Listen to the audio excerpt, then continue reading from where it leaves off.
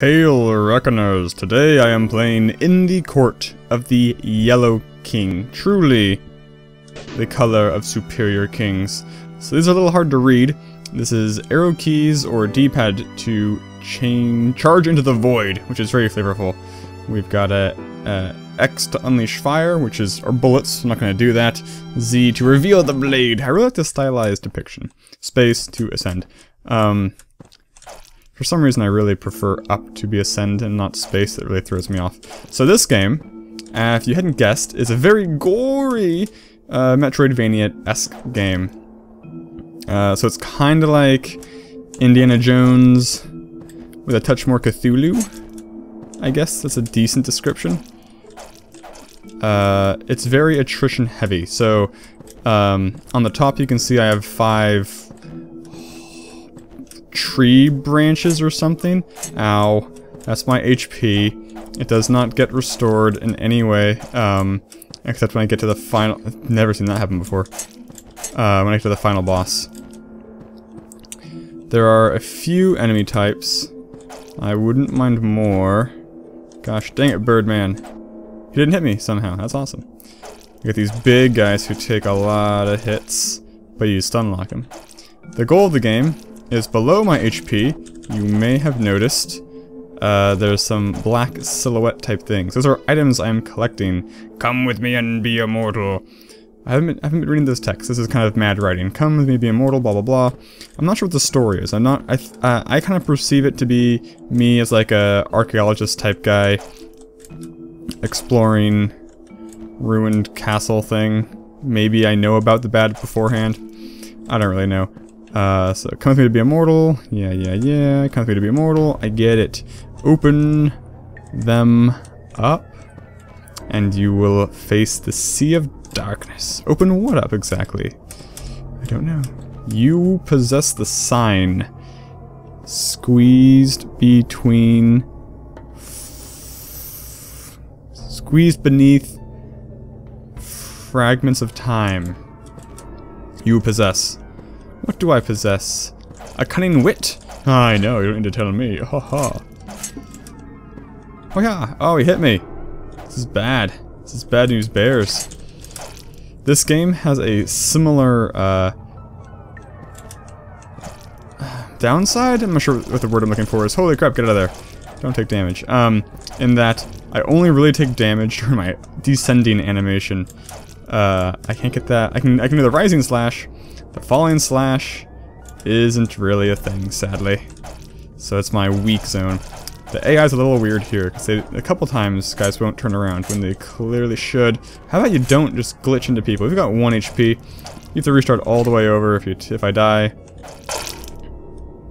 Don't know why he blew up so fantastically. This is super harrowing, having the 1 HP. I don't like it.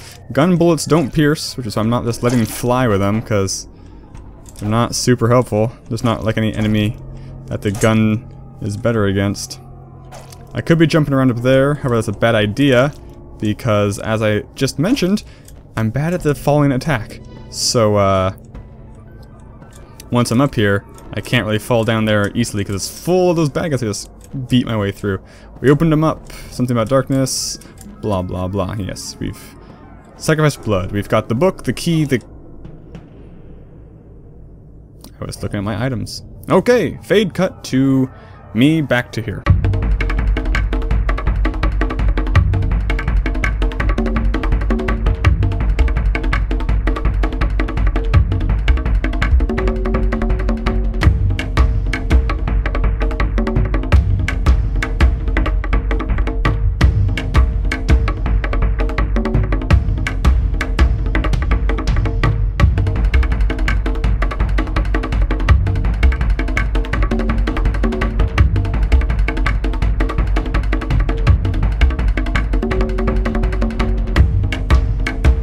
Okay, so we got the skull.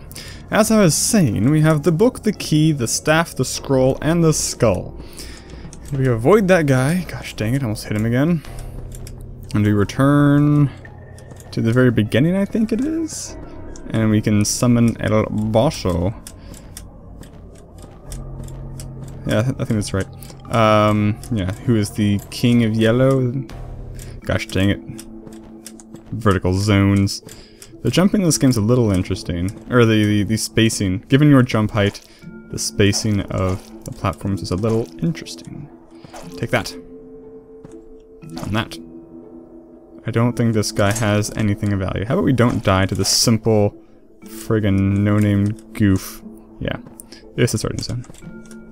I don't know why that zone's even there. Run, run into the void. Charge into the void, that's what it is. Gosh dang it. Forgot about this.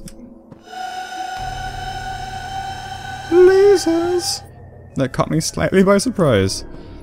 I couldn't remember quite when or how it manifested with the big cheesy laser. Take this, and that, and oh god, laser. Well, I hit him a couple times. I'm gonna have an interesting time messing with those levels. So he just teleports between these three levels. Summoning bad guys, dropping lasers. I like, I really, really like how many hits uh, this staff has. Also, in case you hadn't noticed, I'm at full health. I don't know if it restores bullets because I don't use bullets. But yeah, look at that. Look at those awesome hitboxes.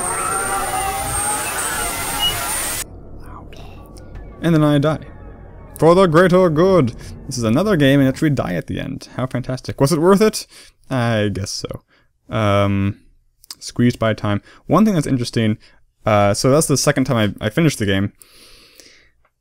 The first time, I was expecting him to react to my hits a little more than he did, uh, which means I was doing, in that, in that, what you just saw, I, he only teleported once. He I hit him in the beginning, starting the fight, he teleported once, I fought him, he teleported once, and I beat him.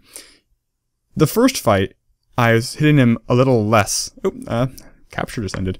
Um, I was hitting him a little less, so it turns out he actually has stages, and so when you get him low enough, he just starts spawning like like three demons, a caster, and two of those big guys. It, it can be a little difficult to just whack your way through all that meat to get to him, but it's still a pretty pretty straightforward boss. He's a lot more straightforward than uh, the rest of the game is because there's less jumping stuff. So everything everything fights on the same level, so it's pretty easy to just flail away with your staff and, you know, victory will be yours. So that was In the Court of the Yellow King. Um, Again, I think that was just a Game Jam game, not a demo or beta version of a fuller game, but has a good concept, um, has a nice atmosphere and good story, so play it for yourself in the link below, and thank you all so much for watching, and I will see you next time. Goodbye.